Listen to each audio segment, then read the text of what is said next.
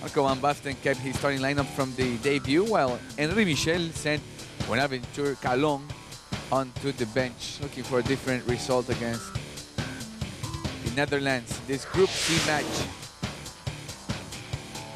Here they are, they didn't convince much in the first game. Nonetheless, they won against Serbia and Montenegro. Most of the people obviously rooting for the Netherlands, as you can tell from the orange scenario in Stuttgart, although some Africans were present.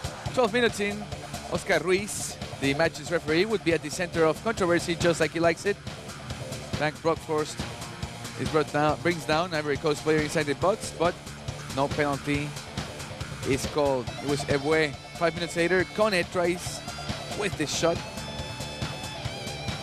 No result. In the 21st minute, free kick for Holland. Robin Van Persie takes it and makes it 1-0 for the Dutch. Great shot by Robin Van Persie, the Arsenal player. 41-0. Four minutes later, Robin with the assist to Ruud van Nistelrooy, and the Manchester United man makes it 2-0.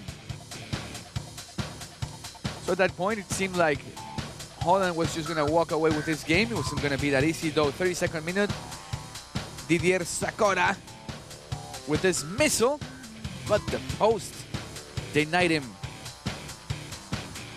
And five minutes later, Bakari Kone would have this individual play. Look at this. Takes on all of the players by himself. Great shot. 42 to 1 right before halftime. So he makes it a game for the Ivory Coast. Let's look at it again. Great goal by Kone in the second half. Ivory Coast was close to putting the equalizer with Kone once again, but his shot went over the top.